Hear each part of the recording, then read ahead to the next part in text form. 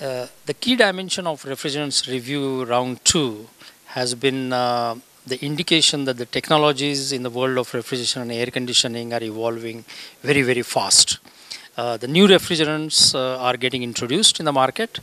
and uh, we have also been seeing the improvement in energy efficiency, the reduction in emission due to the uh, reduction in leakages of refrigerants, as well as uh, some of the important technical knowledge that uh, it's not necessary that when um, uh, there is a low GWP of the refrigerant, the flammability is also high.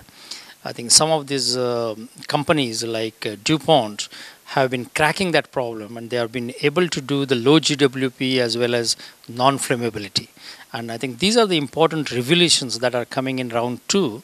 that we probably may not have a perfect refrigerant, but we are definitely approaching towards the very ideal uh, refrigerant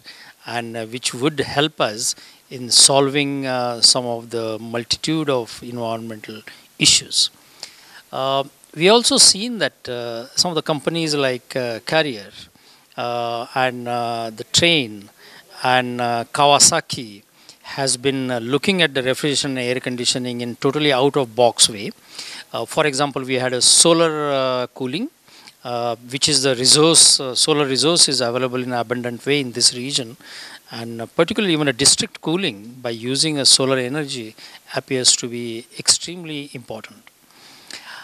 We have in this round two a very important turn in terms of looking at the counterfeit refrigerants and illegal trade. Um, it is important for the success of Montreal Protocol and the success of HCFC phase out that uh, illegal trade is uh, prevented and avoided uh, because uh, that uh, illegal trade will come in a way of introducing the new refrigerants faster. Uh, and Uh, we we had uh, presentations by, by Interpol and uh, UN ODC, United Nations Office of Drug and Crime, uh, as well as the private sector in that respect. And uh, I think that refrigerant review is now taking a totally different turn to look at this uh,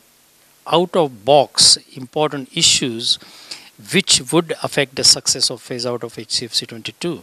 And uh, by considering those dimensions, we feel that we may be going on a right track for the round number three, where we would have uh, more issues related to energy efficiency as well as illegal trade.